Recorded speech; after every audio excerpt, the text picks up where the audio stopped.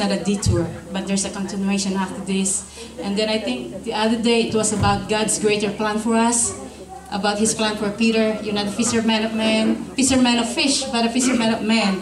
And I hope God will use me in that. Uh, in that area, I think there's some greater plan for us, for me and Fidel, to go to Hawaii. And uh, the Lord has been good to me all the time. It will take a while to answer prayers, but I always uh, I, I don't the only the only time that I ask him why me is that I, some of you probably didn't know about it that we lost our first child.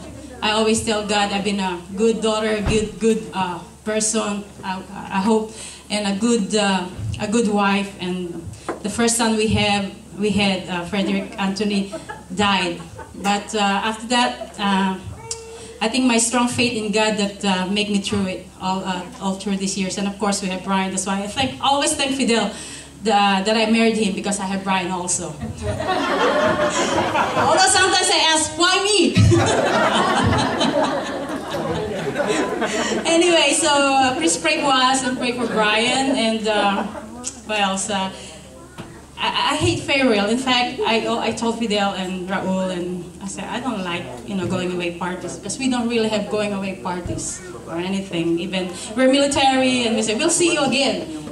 And it's, it's true.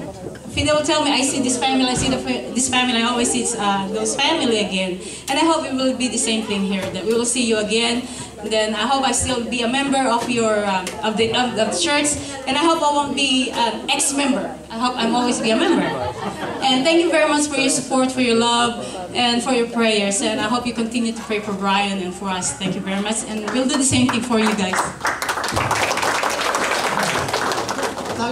It's my turn. uh, yes, it's it's getting long, pero I I also want to reiterate what Vicky said that uh, the Lord brought us here. We did not know what Virginia, D.C. is like. We know it's traffic like Japan, you know, but um, as we look upon why the Lord did it, it's because He wanted us to open our heart for Him. And I really am, I'm, I'm rejoicing that maybe down the road, like Vicky said, uh, there's plans for us but I'm also in, uh, I'm, I'm hurting because I'm leaving the church, the, the church that has given me new life. You know, as Vicky said, Pastor Charlie and everybody else that was here before uh, brought us here, and uh, I never stopped growing since then. In fact, uh, Brother Jake and I were talking today, and uh, you know, I Jake never knew what my background was, or even last week when I was talking to him, he never knew what my former life was. Uh, I think a lot of you already know what my former life is, but uh, it's not the best, it's not something that you can boast about. But uh, again, the Lord has given us uh, everything, and when we when we think of it as if just you doing all that because you're either you're talented, you're smart, you have all the skills, you think you did it all. And when you're not a Christian, you think that uh, yeah, I'm the best. You know, I got promoted ahead of my peers. And you know, sometimes the Lord brings you down or humble you. And I think when I came here was my the, the humble uh, revealance of, of, of what it is to be a Christian when I came here because the Lord said, you know, it is my, it's, it's mine, not yours, that I've given you all this blessing, all the all the all your house, your your your your family, your um, your income, everything that's given to us was because God loved us. And I never stopped thinking about that since I came here and accepted Christ. And again, I really don't want to leave. You know, I, I, am not going to have tears in my eyes, but because we know down the road we're all going to see each other again, right? Amen. And it's it it it can be somewhere else, but ultimately, it's up there, right? We're all going to see each other up there, and all I can say is that um, I think everybody here has each a role in being a Christian. I think each of us here, sitting here, and all those that are not here, we all have a role. I remember uh, preparing for a class one day, and I think God opened my, my mind on this one. You know, that um, you need to serve the Lord. You know, he, he told me, you need to teach, or you need to facilitate. That's how I ended up with Bible study. You know, I mean, the Bible study uh, uh, facilitating didn't come to me because I wanted to. I think the Lord spoke to my heart and said that you need to grow, Fidel. You need to grow, and I'm going to help you grow. And what He did to me was uh, help me grow by, by preparing to be the facilitator for the Sunday school class. The Sunday school class, you know, I, I don't want to give it up. You know, I know Brother Eric's going to step up to the plate. You can still stay.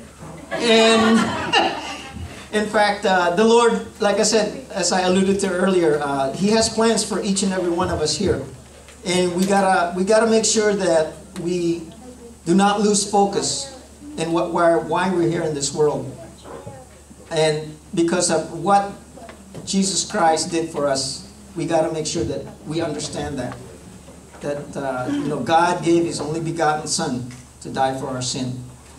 And whenever we sin, you know, it's it's for me as a as a human being, it's hard not to sin. But I know I I've, I've sinned. We all have sinned. But if we ask for uh, forgiveness and um, and uh, the Lord helping us to live through that, whatever issue, challenge that come to your life, I think uh, He will help us.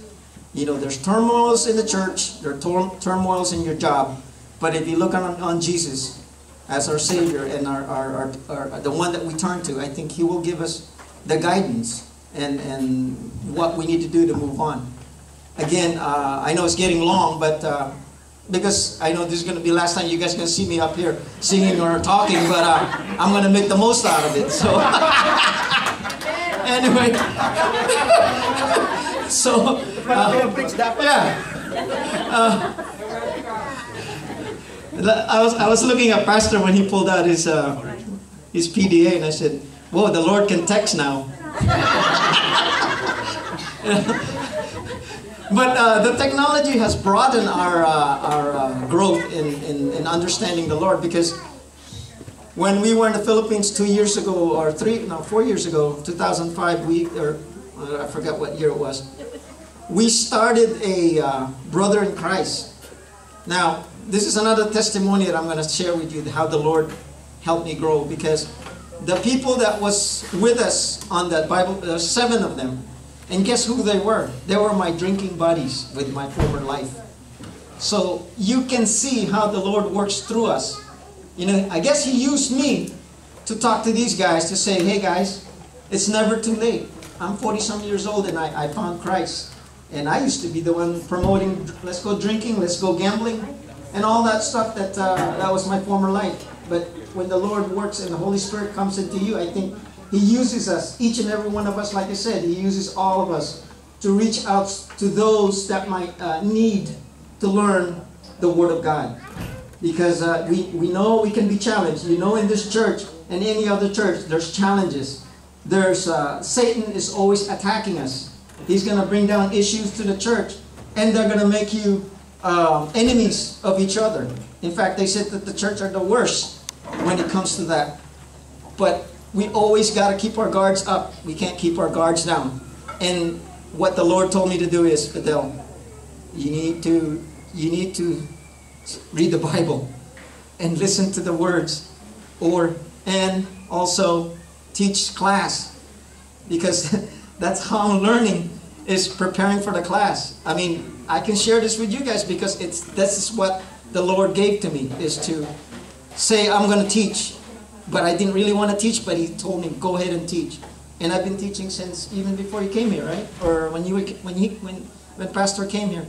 But again, uh, I love this church. I love the people in this church, and most of all, of course, we love God and Jesus Christ, right? And all I can ask is that we continue to keep in touch with each other and I will send out email. I will send out uh, our forwarding address, and yeah, and the Facebook. I'm in Facebook now.